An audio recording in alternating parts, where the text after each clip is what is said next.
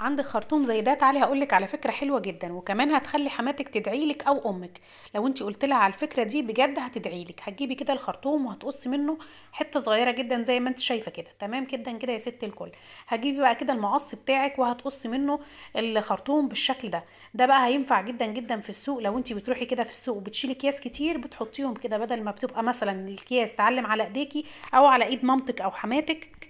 الطريقة دي حلوة جدا وكمان هتريحك كتير جربيها وإن شاء الله هتعجبك.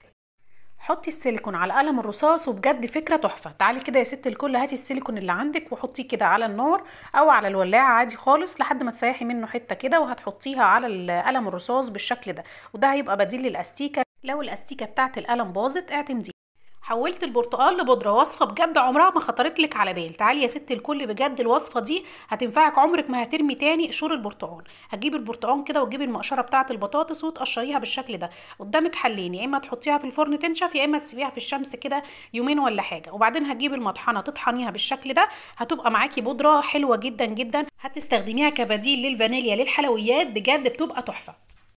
هاتي إزازة وتعالي. هنعمل فكرة حلوة جدا. أهم حاجة تكون الإزازة دي إزازة كبيرة اللي هي الاتنين لتر اللي هي البيبسي بقى أي حاجة عندك أنت بتجيبيها آه وتفتحيها بالسكينة بالشكل ده وتشيلي اللزقة اللي فيها. بكده أنت عملتي حاجة حلوة جدا ومنظم للبنس وللمفكات وللحاجات ديت. بدل ما الدرج بتاعك يتكسر من تقل الحاجة دي فيه لا هتحطي منظم كده في جنب حلو جدا. جايبه لكم النهارده طريقة حلوة جدا جدا علشان خاطر كمان إحنا في الدراسة الطريقة دي حلوة جدا وهتنفعك. هجيبي كده البلاستر لو انت لزقتي البلاستر بالغلط على أي ورقة انت عايزاها وما تقصديش. تعالي هقولك إزاي تفك اللزقة دي من الورقة بكل سهولة. طبعا لما جينا فكيناها في الأول الورقة اتقطعت معانا. مش عليكي غير إن انت تمسكي اللزقة بالطريقة دي وتشديها للجناب هتتفك معاكي بكل سهولة.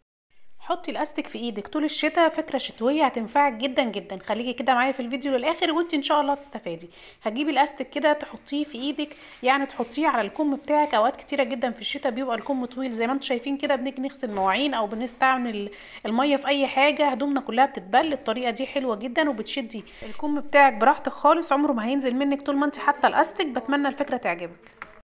حطي الملح في الاسبونجة أو في السفنجة وانت هتنبسطي جدا من النتيجة اللي انت هتشوفيها. هتجيبي كده سفنجة أو اسبونجة عندك تشيلي الحتة مثلا لو هي مغلفة هتشيلي الحتة اللي هي فيها دي وهنستخدم بس السفنجة اللي فيها. وهتقصيها بالشكل ده وبعدين هتحطي كده معلقة من الملح معلقة صغيرة من الملح ملح العادي خالص بتاع الأكل بتاعنا وكمان شوية صغيرين جدا من الفانيليا أو كيس فانيليا على حسب اللي عندك. وهتدخليهم كده كويس جدا في في السفنجة أو في الاسبونجة وتعالي بقى يا ست الكل هقولك تعملي إيه. هتحطيها في باب التلاجة بالطريقة دي هتسحب لك الرطوبة اللي في التلاجة وكمان هتخلي ريحة التلاجة حلوة. لو انت الإدراج عندك أو قرفه في التلاجة بتلاقي عليها مية كده. لما تحطي السفنجة دي مستحيل هتلاقي مية تاني لأن الملح والسفنجة هيسحبوا لك كل الرطوبة اللي موجودة في التلاجة. بجد الفكرة دي حلوة جدا وأنا بعتمدها جربيها وهتعجبك. حطي الليمون على الخلاط وانت بجد هتنبهري من النتيجة. طيب زي ما أنتم شايفين طبعا الخلاط بتاعي متبهدل إزاي؟ بليمونة كده نص ليمونة وشوية كمان من الملح. ما تجيبيش سلك خالص على الخلاط لأن أوقات بيتجرح كده وبيبقى شكله مش حلو. وهتجيبي بقى كده منديل أو قماشة وتكون يعني مبلولة كده شوية مية صغيرين وهتمسحي بقى الخلاط زي ما انت شايفة كده. ولو في بقى زوايا في الخلاط بتعمليها بخلة الشيش طاووق زي ما انت شفتيها وده شكله في الآخر. والسلك بقى بتلميه كده علشان يبقى شكله حلو على الرخامة. بتمنى الفيديو يعجبك. هاتي المسكة بتاعه الأكل دي وتعالي هنعمل فكرة حلوة جدا هتعجبك إن شاء الله وهتوفر عليكي مساحة كبيرة جدا.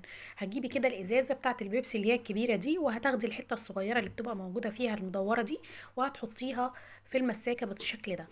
زي ما أنت شايفة كده لما تيجي تحطيها في الدرج مش هتاخد منك مساحة خالص فكرة حلوة اعتمديها.